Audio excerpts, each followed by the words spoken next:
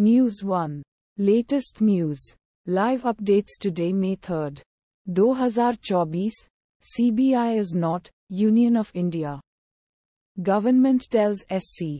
Seeks dismissal of Bengal government plea Hindustan Times. News 2. Mother entrusted me. Rahul Gandhi on being nominated from Raebareli NDTV. News 3. Why HD Revanna withdrew his anticipatory bail plea in sexual abuse case bar or bench Indian. Legal News, News 4. Arvind Kejriwal case. Supreme Court says it may consider interim bail the Hindu. News 5. CBSE Class 10th. 12th Results 2024 date. Here's what CBSE results.nic.in claims the Indian Express. News 6. West Bengal Governor bans entry of police. State Finance Minister into Raj Bhavan The Hindu. News 7. Bhima Koregaon case.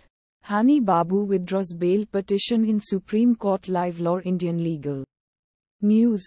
News 8. Amid scorching heat wave. A look at top warmest cities in India Hindustan Times. News 9. Why Congress did not give Lok Sabha ticket to Priyanka Gandhi. Robert Vadra, Zee News, News 10.